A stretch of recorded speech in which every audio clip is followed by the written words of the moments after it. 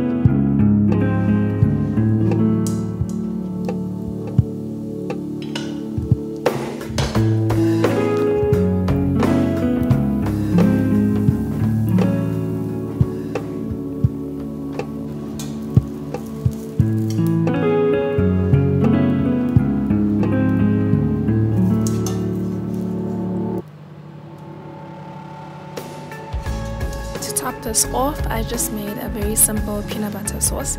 And to make that, I just mixed um, one pot peanut butter and two pots milk. And then it made a nice creamy sauce that I could then use on top of my pancakes. The peanut butter that I'm using though is sweetened and has added salt and sugar.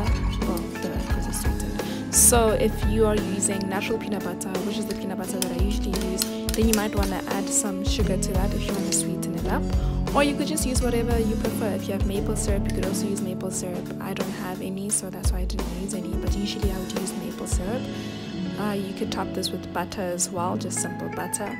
Or you don't even have to make a sauce. You could just melt the peanut butter the way it is and put it on top i enjoyed these very very simple quick and easy three ingredient pancakes if you want to, you could add some fruits inside your pancakes, or you could add cinnamon or a very ripe mashed banana. That can also work. I've used that as well.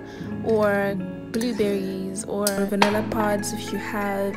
It's all up to you. Just make these how you want to. But at the end of the day, the bottom line is they only took three ingredients. So yeah, you can take it further if you want to. Otherwise, I hope that you enjoy this video and you enjoy making these as well. Bye bye.